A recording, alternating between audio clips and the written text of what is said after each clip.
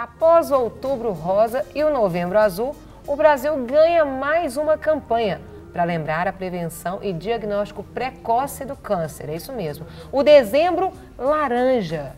A Sociedade Brasileira de Dermatologia, ela criou o dia após 15 anos de Programa Nacional de Combate ao Câncer de Pele. Isso mesmo, a população ela vai ter um mês inteiro para lembrar de como evitar o câncer que mais atinge o país.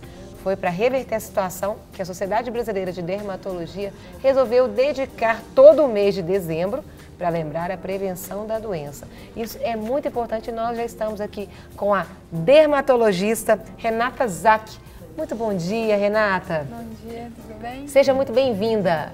Obrigada. Eu fico pensando aqui, Renata, eu acho que tem tudo a ver, né? Pegar o, o dezembro, justamente porque janeiro é um período de muitas férias, é um período onde as pessoas se expõem muito ao sol. E eu acho que ficou bem estratégico pegar. É, tem, tem tudo verão, a ver, não tem? Né? No Foi. verão. A gente aprendeu um pouquinho mais sobre isso, porque o câncer de pele, às vezes ele não é tão falado, mas é o câncer que mais acomete pessoas, na é verdade? Sim, é o câncer mais comum no mundo. E quais, quais seriam, assim, os tipos de câncer de pele que existem? Olha, a gente tem três tipos de câncer de pele. É, o primeiro é o carcinoma base celular, que é o mais comum, que atinge, corresponde a cerca de 70% dos casos. É, eu queria mostrar umas fotos, tem como filmar? Você tem, você está aqui é. com esse livro? Vamos é. ver. Pode me, me passar que eu vou tá mostrando. Esse... Fotos de, de pessoas com o câncer. Isso, é. Só para poder assim, ilustrar um pouquinho, essa foto aqui. Essa de cá, tá? Mostra para o Didi ali que o Didi vai conseguir pegar mais fácil. Isso. Esse aqui vai explicando para a gente então. É, esse aí Renato. é uma ilustração do carcinoma base celular que é um câncer de pele que cresce devagar, ele não dá metástase, mas é muito importante fazer o diagnóstico precoce, porque caso contrário ele vai crescendo, né, tanto lateralmente quanto na profundidade. Como que a gente faz o diagnóstico dele? Né? Geralmente é uma uma bolinha mais rosadinha, vermelhinha. Tipo uma feridinha? Ela pode dar uma feridinha também, mas ela começa geralmente só como uma bolinha, ah. mas uma pele mais fina por cima, meio perolada, com uns vasinhos de sangue em cima. Ah. E aí pode evoluir depois como uma ferida que não cicatriza também. Mas isso eh, dá em algum candidato específico, né, propenso a esse câncer, ou qualquer indivíduo pode ser acometido por esse tipo de câncer? É mais comum nos indivíduos de pele mais clara, né? Os ruivos, que tem muitas sardinhas. A questão da idade não interfere? Costuma acontecer mais após os 50, 60 anos, mas pode acontecer antes também. Mas esses danos, quando vêm pelas crianças, também pode gerar essa propensão quando for mais adulto, né? Sim, a gente fica muito preocupado com a fotoproteção das crianças, porque eles ficam muito expostos, né? Porque eles saem para brincar e geralmente não reaplicam o protetor como deveria. Então a gente fica muito preocupado, porque a exposição solar na infância é muito importante para os efeitos a longo prazo. Recentemente Esse... eu vi uma pesquisa, eu não me lembro em qual canal de televisão, onde que eles é, filmaram o rosto das pessoas com, com uma câmera com ultravioleta. ultravioleta. Isso. E aí filmaram sem o, o, o, o, protetor? o protetor solar e depois com o protetor solar. E foi muito interessante ver porque na câmera ultravioleta, a pessoa que, que estava com o filtro solar, o rosto onde estava o, protetor ficava escuro, como se tivesse realmente uma um blackout tinta, ali, um blackout, uma, uma tinta ali. Né? E a pessoa sem aquilo mostrava a face muito mais envelhecida, cheia de manchas, rugas e etc e tal. Então o protetor, naquele dia eu vi que realmente o protetor é, né? é uma proteção muito importante. Faz, ele faz uma camada que protege muito bem. Renata, esse daqui é um outro tipo é, de câncer esse, de esse, pele? Esse também é outra ilustração é do carcinoma base celular. Esse é um carcinoma celular pigmentado. Você vê que ele tem uma cor escura também. Parece né? uma pinta. Ele, Umas esse pintas. aí parece um pouco uma pinta. E, nessa, e tem um em cima também, não é, tem? De, essa foto de baixo, ah. ela é uma foto de dermatoscopia, que a gente chama de microscopia de superfície. A gente faz com um aparelho que você consegue visualizar umas estruturas que ficam logo abaixo da pele Isso seria E ajuda no cabeça, diagnóstico. Essa, essa, essa parte aí? É, é na cabeça, perto da No orelha. couro ali. Couro. É, mostra a foto superior, que aí dá pra ver a A localização. foto de cima, Didi? Isso. É, tá vendo a orelha Ah, aqui, ó. entendi. A orelha, aqui é ca- o cabelo. Aquela foto de baixo, então, é aquela, aquela mesma, mancha aumentada. ampliada. Isso, na dermatoscopia, Uau. E parece uma pinta mesmo. parece. Por isso que todas as pintas que nós temos, nós devemos é, sempre Investigar. É, analisar, Renata. Eu recomendo os pacientes que pelo menos uma vez ao ano vão ao dermatologista para fazer um exame completo da pele. O ideal seria tirar, assim, ficar de calcinha sutiã, homem de cueca, examinar tudo. Às vezes os pacientes ficam né, um pouco à vontade, Intimidade. principalmente quando é a primeira vez que eles vão ao consultório, mas o ideal seria isso, para facilitar a detecção precoce do câncer de pele, porque a gente já está treinado, né, a fazer diagnósticos de lesões iniciais. Os pacientes, assim, muitas vezes eles acertam, mas eles costumam acertar com lesões, às vezes, um pouquinho mais avançadas. Então, uma pergunta. Você falou da pessoa fazer um exame uh, mais amplo, né? até por baixo da roupa, no caso. No- uh, Em outras partes do corpo que ficam cobertas ao longo do dia, também é possível aparecer esse tipo de câncer? Porque a impressão que a gente tem é que na parte que está Só exposta ao exposta, sol né? é que vai ter isso. É, o mais comum é cabeça, pescoço e tórax, né? Aqui perto dos ombros. Mas pode acontecer nas costas, nas pernas, na sola do pé. Doutora Renata, agora quando é, você fala sobre a questão da, do homem, o homem tem dificuldade. Saímos aí do novembro azul, entramos agora no dezembro laranja, né? Tudo cheio de cor, como diria o Jean, vai ser o janeiro preto, porque é quando as contas todas chegam, né, Jean? Vai ser janeiro negro, porque a dívida vai chegar e todo mundo vai, vai ficar... O homem, ele tem essa dificuldade. Existe uma questão de uma propensão maior para os homens e para as mulheres? Quem tem mais risco aí? Não, o risco é semelhante, não é tão diferente, não. Às vezes varia de um tipo de câncer de pele para outro, mas é muito parecido. Quais são os outros tipos de câncer? Pois é, vamos falar do segundo tipo agora. O segundo tipo, É o do lado direito ou do lado, aqui, do lado de cá? é, aqui é o carcinoma espinocelular. Aí você vê que é uma foto, já uma fase é, um pouco mais inicial, tá? Então, o que, que você tá Uma vendo aí? manchinha, É, uma manchinha é vezes um- um vermelha. braço? assim. Às vezes ela começa a ficar um pouquinho mais altinha. Que parte do corpo é essa? Aí me parece que é no braço ou na perna. Parecendo, né? Na canela. Né? E embaixo tem a foto da dermatoscopia, que é o exame. Dela maior, ampliada. Isso. Então, assim, às vezes realmente é difícil, no- né? Mas o ideal é você Esse seria bem nessa no fã. inicinho, né? Isso. Quer Se- dizer, é muito, o, o- o indivíduo ele- é muito fácil se confundir, doutor Renato. Ele pode confundir uma mancha comum ou até mesmo uma cicatriz de, um, de uma ferida, ele pode confundir com o câncer facilmente. É possível confundir. É, para as pessoas é muito difícil. Muitas vezes a pessoa chega falando assim, ah, eu tenho uma verruga. Ah, eu tenho uma, sei lá, uma pinta. E na verdade você vai olhar e é um início de um câncer de pele, né? As pessoas muitas vezes não sabem. Uma coisa que a gente fica muito preocupado, que as pessoas têm mania de se automedicar. Isso. Então, muitas vezes, o que acontece? O paciente chega, vai na farmácia, compra um medicamento que serve para verruga e começa a aplicar numa lesão que ele não tem o diagnóstico, ele acha que é uma verruga. E aí, quando ele vê que não está adiantando, passam-se meses, aí ele resolve ir no médico e aí vê que já é um câncer de pele. Então, quer dizer, ele estava fazendo um tratamento incorreto. Então, acho que pareceu alguma coisa estranha, a primeira coisa é você ir ao dermatologista para ver o que, que é que você tem que tratar, né? E o melhor tratamento. Esse daqui Né? é qual? Esse também é outra ilustração do carcinoma espinocelular. Então você vê que é uma, uma bolinha vermelha com uma casca em cima, né? O pessoal às vezes acha que parece uma verruga. Né? E o ideal é assim, você tirar enquanto ele é pequeno, que você.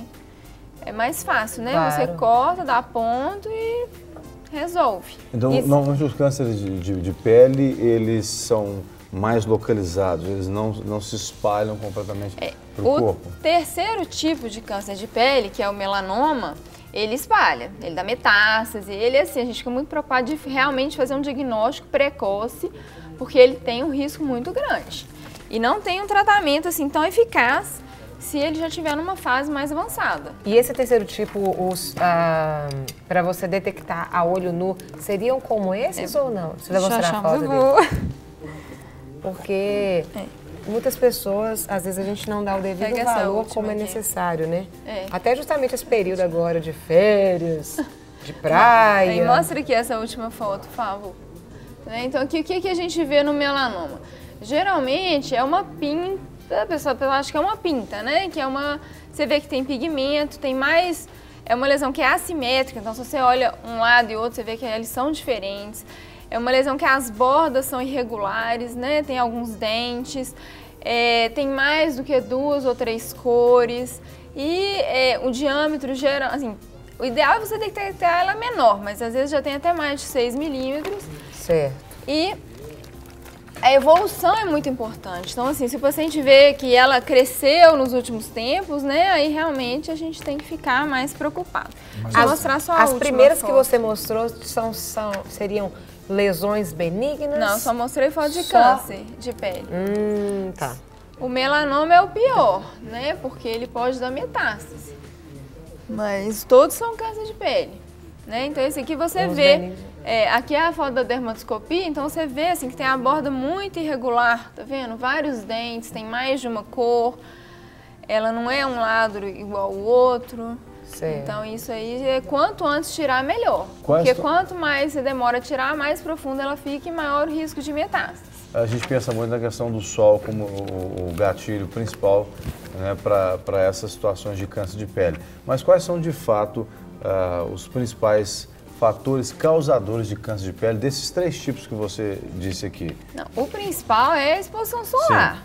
E aí tem também fatores genéticos que influenciam, principalmente o melanoma, né? Tem várias. Tem alguns genes envolvidos, tem muitas pessoas que na família várias pessoas têm. Então é isso. Por exemplo, essa exposição de luminosidade aqui, dessas luzes aqui, qual o risco que isso traz para a nossa pele? Também tem risco de dar câncer de pele. O ideal é usar protetor solar direto, passar todo dia de manhã, reaplicar na hora do almoço. Se for para clube, praia, reaplicar a cada duas Especialmente horas. nessas. Aí você tem uma cartilha né, que fala a respeito da, de como deve ser aplicado esse protetor solar. Como saber e qual é o protetor ideal para cada um de nós? É. A recomendação atual é você usar no dia a dia um protetor entre 15 e 30. É, como é que você vai escolher o protetor ideal? É mais assim, pela cosmética do filtro solar, né? Porque tem, assim, o que, que a pessoa. É, geralmente a maioria das pessoas quer uma loção que seja mais fluida, mais fácil de espalhar, né? Que não dê, assim, alergia. É, Né? Que não, não dê espinha, que seja óleo tenho free, muita óleo alergia. Eu, tenho, eu, particularmente, tenho muita alergia. Por exemplo, se eu estou em praia, eu não sei se é a, o sol com o protetor ou ali a água do mar. Então, não são todos os protetores, por exemplo, que eu consigo. Eu, eu empolo literalmente. É, quem tem muita alergia, a gente até recomenda usar protetor infantil, que são os que tem mais filtro físico, menos filtro químico, eles dão um pouco menos de alergia, sabe?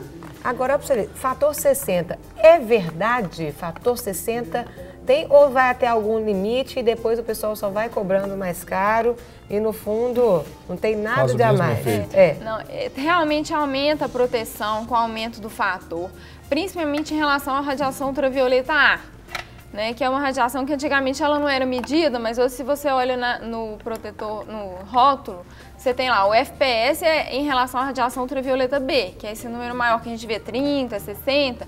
Mas tem em relação à radiação ultravioleta A. Às vezes vem escrito UVA ou vem escrito PPD embaixo, para você ver o grau dessa proteção. Então, essa, essa proteção aumenta muito com o aumento do fator. Então, eu acho que vale a pena, principalmente quem tem tendência a câncer de pele, vale a pena. É, exposição solar mais intensa quando a pessoa vai para a praia, eu também acho que vale a pena, porque as pessoas não aplicam protetor como deveriam. Então, assim, o ideal, por exemplo, seria você usar uma colher de chá só para o rosto, uma colher de chá para um braço, uma para o outro braço, duas em cada pé. As pessoas dificilmente fazem, usam essa quantidade né, de protetor solar. Então elas usam uma quantidade que é menor, não costuma reaplicar como deveria. Então eu acho que você usando um protetor maior, pelo menos assim, em parte, você compensa um pouco essa má aplicação. Né? Nós tem período- alguns outros até aqui. Só, só É. tem alguma diferença entre eles? É, esse aqui é semelhante ao primeiro, né? Também é sem vou óleo. mostrar- Vou, colocar assim na Né? mão. Vem escrito que é gel creme, toque Esse aqui, seco, esse aqui né? é semelhante ao primeiro. Esse está na É. minha mão direita. Eu não trouxe amostra, mas assim, tem protetores que já são mais hidratantes, para quem tem uma eu... pele mais seca. Isso que eu ia perguntar, o protetor, é. ele pode ser gel, pode ser loção, pode. depende do, do, tipo da pele. É, o gel e as loções a gente usa mais para quem tem pele normal, oleosa, e os hidratantes, os em creme, a gente usa mais para quem tem pele mais seca. Nós estamos num período de férias aí que muitas pessoas estão viajando, vão para a praia, vão para lugares às vezes frios, né? É, frios. E quais os cuidados que elas podem ter além do protetor solar? É, o cuidado para descansar a pele à noite, até mesmo para evitar é, certas situações de, de, doença na pele. É, a exposição solar, eu acho assim, é, você deve evitar entre as 10 e 16 horas ou né, entre 11 e 17 horas se você estiver no horário de verão, porque é uma exposição realmente mais intensa. Usar também é, chapéu, viseira, o guarda-sol com protetor mesmo? solar, é, o guarda-sol. Eu acho que tudo isso é muito importante, muito válido usar. E também. a diferença do bloqueador para o protetor? Geralmente solar. o bloqueador é o que é acima de. a partir de 30. É o protetor acima de 30. Ah, ele vira bloqueador. É. E, é... e, o usuário também ele pode também ele tem ele encontra por exemplo os protetores solares especialmente para o rosto para outras partes da pele também é possível fazer essa divisão né é pode usar pode usar separado mas tudo. pode usar o mesmo eu não vejo muito problema usar o mesmo exceto alguns por exemplo igual esses que tem base é, às vezes é, assim, você não vai usar um protetor solar com cor de base no corpo, né? A gente que é mulher gosta de usar, porque aí já dá um tom meio de maquiagem, mas você não pode usar ele é, no corpo que vai sujar sua roupa, vai fazer muita bagunça, Você falou sobre né? a, mulher usar ele como, como um tom de maquiagem, né? A gente Isso. vê muitas vezes na, na, nos lugares onde tem muito sol, pessoas com a, a, o rosto branco, né? Passa e fica aquela, aquela camada grossa ali de protetor. O protetor tem que ser aplicado até ele sumir na pele ou não? Ele tem que realmente ficar aparecendo? Porque às vezes o cara passa só aquela coisa no nariz aqui, passa aqui, como se aquilo fosse proteger mais. É, não, na verdade você tem que aplicar, ele pode sumir. Agora tem alguns que tem mais filtro físico, eles deixam um tom levemente esbranquiçado. Agora, o que você está falando, acho que é o que os surfistas muitas vezes passam. Eles pegam Sim. e passam uma camada, às vezes, de hipoglós, né? uma camada mais forte de algum produto, principalmente porque na água os produtos saem muito. Uhum. Então eles às vezes passam esses produtos que grudam um pouco mais para proteger mais e não sair na água. É. Acima do né, depois que eles já aplicaram ah, o protetor é como solar. Se fosse uma segunda capa. É. Doutora Renata, para a gente fechar, eu queria que você explicasse novamente cada um, porque a gente foi falando, perguntas foram vindo e os telespectadores querem entender, você quer, você né? Não o negócio, não. Eu vou. Que saiu o negócio do nome. É, não, aqui, né? É. Esse aqui, a, a diferença de um para o outro, até nesse período, para a pessoa escolher aí o melhor. É.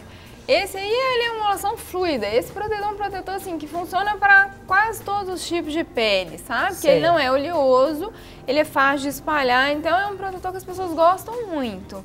Não dá acne, não tem nenhuma contraindicação, assim. As pessoas em geral, todo mundo Ainda pode usar. Ainda mais para os alérgicos, né?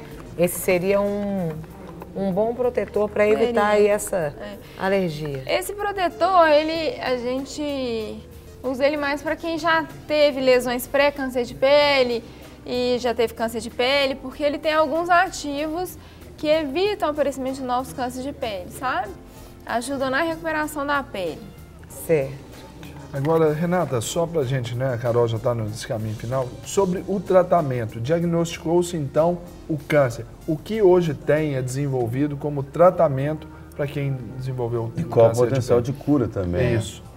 Oh, o melhor é a cirurgia, que é você realmente cortar e dar ponto, entendeu? Se precisar, faz retalho, faz enxerto, isso é o melhor. Você tira com a, a lesão mais um pouco de margem, né, de segurança para a pessoa ficar curada. Isso geralmente resolve o carcinoma base celular e o espino celular.